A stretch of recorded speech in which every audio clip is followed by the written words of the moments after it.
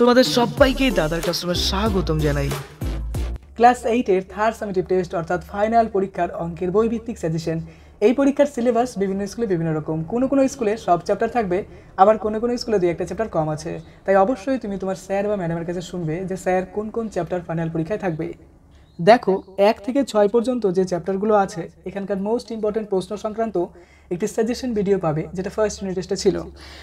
সাত থেকে ষোলো পর্যন্ত যে প্রশ্নগুলো পরীক্ষার জন্য মোস্ট ইম্পর্টেন্ট সে ব্যাপারে আরেকটি সাজেশন ভিডিও পাবে, যেটা সেকেন্ড ইউনিট টেস্টের সিলেবাস আজকে সতেরো থেকে তেইশ পর্যন্ত যে প্রশ্নগুলো পরীক্ষার জন্য মোস্ট ইম্পর্টেন্ট তারই একটি সুন্দর সাজেশন তোমাদেরকে দেব।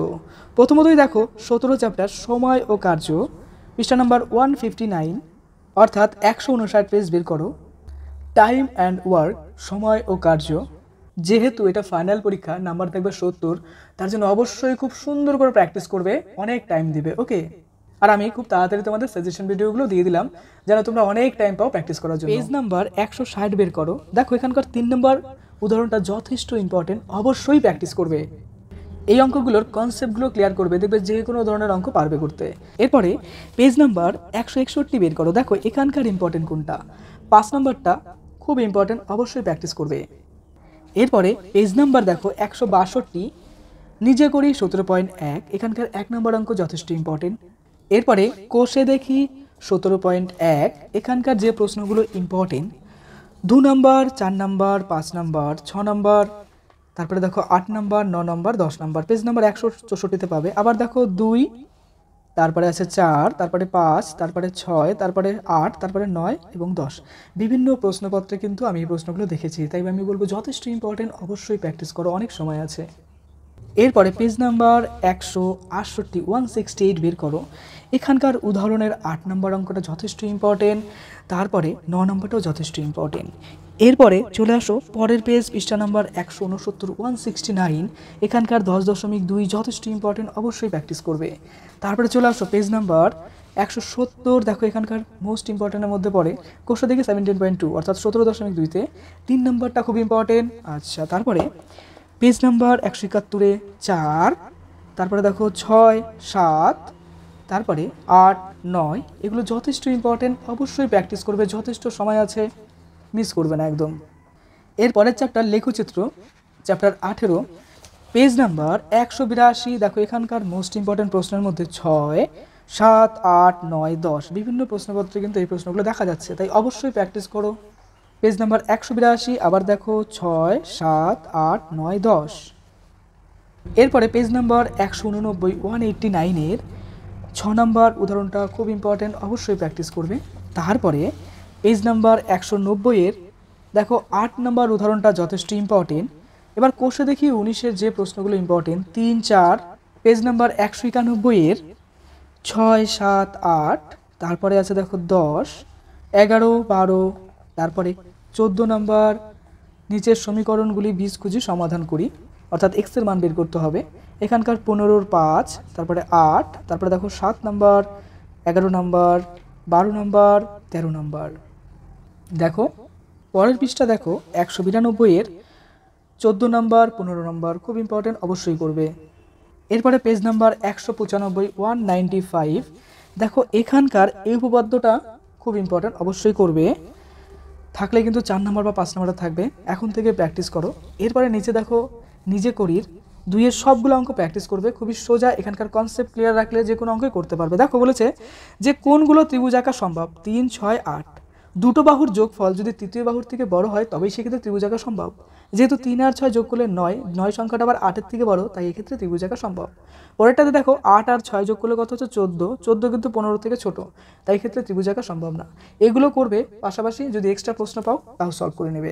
মেন কনসেপ্ট ক্লিয়ার রাখো যে কোনো প্রশ্ন সলভ করতে পারবে ওকে পেজ নাম্বার একশো ছিয়ানব্বই। এখানকার এক্সট্রা উপপাদ্য অর্থাৎ প্রয়োগ আকারে আসে তিন নম্বর বা চার নম্বরের প্রশ্ন হয়। এক নম্বরটা ইম্পর্টেন্ট দু নম্বরটাও যথেষ্ট ইম্পর্টেন্ট বিভিন্ন প্রশ্নপত্রে কিন্তু দেখা যাচ্ছে, অবশ্যই প্র্যাকটিস করবে। এরপর চলে আসো পরের চ্যাপ্টারে পেজ নাম্বার দুইশো। দেখো উপপাদ্য নাম্বার বারো, এটা কিন্তু মোস্ট ইম্পর্টেন্ট দেখো মোস্ট ইম্পর্টেন্ট অনেকগুলো স্টার আছে, অবশ্যই প্র্যাকটিস করবে। মোস্ট ইম্পর্টেন্টের মধ্যে পড়ছে এটা ওকে এরপরে পেজ নাম্বার দেখো দুইশো একের। দুইশো একের, এটা মোটামুটি ইম্পর্টেন্ট অনেক ক্ষেত্রেই দেয় প্রয়োগ আকারে। দেখে নেবে একবার। আর সূত্রটাও তোমার জানার দরকার আছে, কারণ অঙ্কগুলো করতে গেলে লাগবে। এবার চলে আসো চ্যাপ্টারে পৃষ্ঠা নাম্বার দুশো তিনে, দেখো, এখানকার উদাহরণ হিসাবে সাত, নয়, দশ। দেখো, সাত, নয় এবং দশ। এগুলো প্র্যাকটিস করবে। তার সঙ্গে সঙ্গে এই চ্যাপ্টারের সবগুলোই ইম্পর্টেন্ট কারণ বিভিন্ন প্রশ্নপত্র দেখলাম, বিভিন্ন প্রশ্নপত্রে বিভিন্ন টাইপের প্রশ্ন এসছে। এখান থেকে এক নম্বর দু নম্বর তিন নম্বর প্রশ্ন আসতে পারে। সবগুলোই প্র্যাকটিস করবে। খুবই সোজা অঙ্ক কনসেপ্ট ক্লিয়ার রাখো, সবই করতে পারবে। চ্যাপ্টার কুড়ি দশমিক দুই, সব প্র্যাকটিস করো ওকে নিয়ম জানলে যে কোনো অঙ্কই কিন্তু করতে পারবে এই চ্যাপ্টারের তার জন্য নিয়মটাকে ফলো করো। এরপরে পেজ নাম্বার দুশো ছয়ে এটা পড়বে তির্যক সরলরেখাংশ কি? দুশো ছয়ে দেখো আছে, তেরো নম্বর উপপাদ্যটা দেখবে মোটামুটি ইম্পর্টেন্ট দুশো সাতের এগারো নম্বরটা মোটামুটি ইম্পর্টেন্ট দেখবে। পেজ নাম্বার দুশো আট, সম্পাদ্য অর্থাৎ ত্রিভুজ আঁকতে হবে। এবার দেখো পেজ নাম্বার দুশো দশ, এই প্রশ্নটা ইম্পর্টেন্ট এরপরে পেজ নাম্বার দুশো এগারো, তিন নম্বর প্রশ্নটা ইম্পর্টেন্ট পেজ নাম্বার দুশো তেরো, এখানকার ছ নম্বরটা ইম্পর্টেন্ট তারপরে একুশের দেখো দুটো প্রশ্ন আছে, দুটোই ইম্পর্টেন্ট তবে আমি এই ক্ষেত্রে বলব প্রসেস জানো তোমার ইম্পর্টেন্টের দরকার পড়বে না। করতে পারবে, কারণ সম্পাদ্য তো, অর্থাৎ ছবি আঁকা তো, তাই পদ্ধতিটাকে ফলো করো।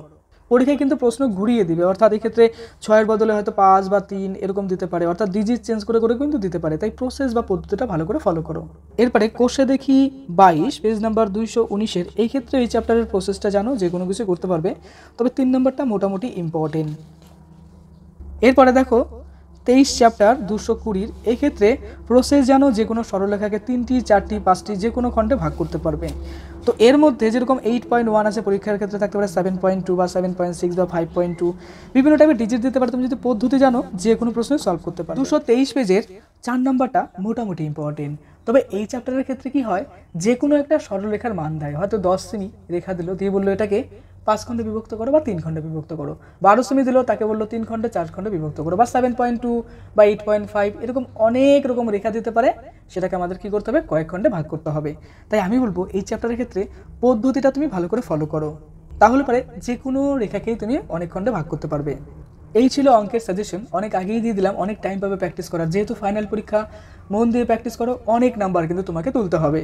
অন্যান্য সাবজেক্টের বইভিত্তিক সাজেশন দাদার ক্লাসরুমে পেয়ে যাবে। অবশ্যই দেখে নিও। দাদার ক্লাসরুমে নতুন হলে অবশ্যই সাবস্ক্রাইব করো। মন দিয়ে পড়াশোনা করো আর খুব ভালো থেকো।